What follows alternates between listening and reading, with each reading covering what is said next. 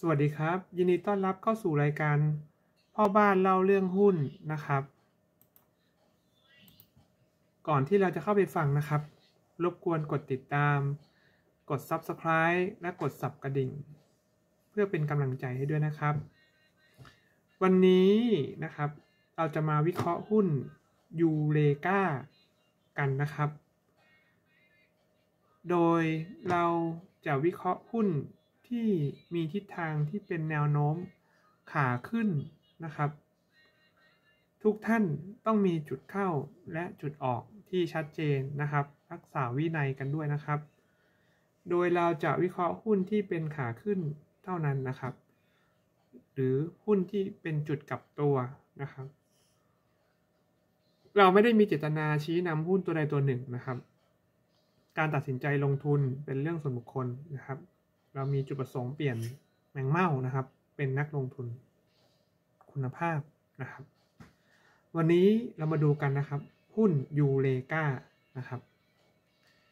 ก่อนอื่นนะครับ เราไปดูกราฟมันนะครับ กราฟมันก่อนเลยนะครับ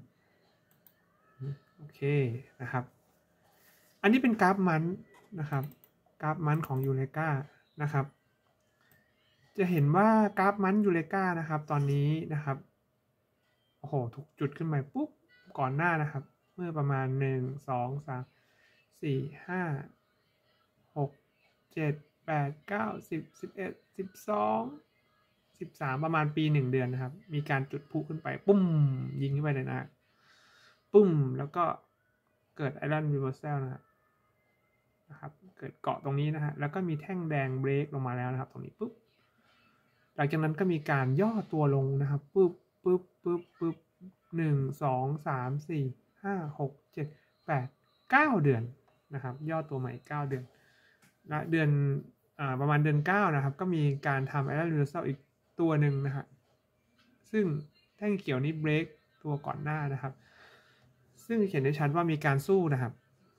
มีการจะกลับตัวนะครับ และอยู่เหนือเส้น 50 วันนะครับตัวนี้เป็นเส้นสีแดงครับ อันนี้เป็นกราฟมันนะฮะ แต่ว่าทิศทางยังเป็นทิศทางที่ย่อตัวอยู่นะครับทำไมผมถึงสนใจตัวนี้เพราะว่ามีการทะลุนะครับ แล้วก็ตัวนี้งบก็เริ่มเริ่มดีขึ้นนะฮะเราไปมาดูกราฟวีคนะครับกราฟวีคโอเคนะครับ เส้นสีชมพูนะครับ เป็นเส้น 200 วันเห็นไหมฮะการจุดพลุตรงนี้ปุ้ม แล้วก็มีการย่อตัวลงมานะครับ แต่ไม่หลุดเส้น 200 วันเห็นไหมฮะมีการยืนและเกิดแก็บตรงนี้ด้วยนะฮะ เกิดแก็บตรงแท่งนะครับ ก่อนหน้าคือเมื่อวานนะฮะวันที่ 4 เดือน 10 ปี 2565 นะครับ เซตบวก 19.95 จุดนะครับ มีการเปิดแก็บนะครับเห็นไหมฮะและแท่งวันนี้นะครับ ก็ไม่หลุดแก็บนะฮะซึ่งถามว่าสวยไหมก็สวยนะครับ มีโอกาสที่จะขึ้นต่อได้นะครับ ตอนนี้ราคาปิดอยู่ที่1บาท62 สตางค์นะครับ ซึ่งเป็นจุดเข้าที่ดีเลยนะครับ ตัวนี้นะฮะเรามาดูกราฟเดย์กันนะครับ อันนี้เป็นกราฟ week นะฮะเห็นไหมครับกราฟ day กราฟ day นะครับ มีการขึ้นไปชนเห็นไหมครับเส้นสีชมพูนี่คือเส้นสองร้อยวันนะครับ มีการขึ้นไปนะครับหนึ่งสองสามสี่ทะลุขึ้นไปเลยนะครับ พอชนปุ๊บแล้วก็มีการย่อตัวลงมามาตัวนี้ ปุ๊บหนึ่งสองสามสี่ห้าเหมือนกันนะครับ แต่ทำไมถึงน่าสนใจเพราะว่า ตัวนี้นะครับเป็นจุดเข้าที่มีความเสี่ยงที่ต่ำนะฮะแต่ก็ต้องมีจุด stop loss นะครับ วันนี้ปิดราคาที่ 1 บาท 62 สตางค์นะครับ ซึ่งราคาที่เราควรจะเข้าก็คือเป็นราคานี้เลยฮะบาท 62 ถึงบาท1บาท 63 สตางค์นะครับ จุด stop loss เราควรจะอยู่ที่แท่งเขียวตรงแท่งนี้นะฮะอยู่ที่ประมาณสัก1บาท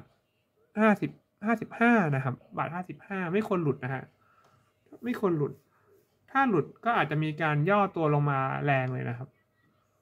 นะครับ แต่ว่าเราเอาจุด stop loss เป็นตรงจุดนี้นะครับบาท55สตางค์ถ้าหลุดก็เข้าคัดนะครับ แต่เราถ้าเรามองเป้านะครับ เป้าก็คือจะไปที่เลย2บาท40เลยนะครับ ตัวนี้นะครับ ตัวนี้เป็นย่อแท่งแรกนะฮะย่อตัวแท่งแรกแต่ก็ย่อไม่มากนะครับ ย่อตัวลงมาแค่ สองช่องประมาณสองสามช่องเท่านั้นเองนะครับ วันนี้ย่อลงมาไม่มากนะครับ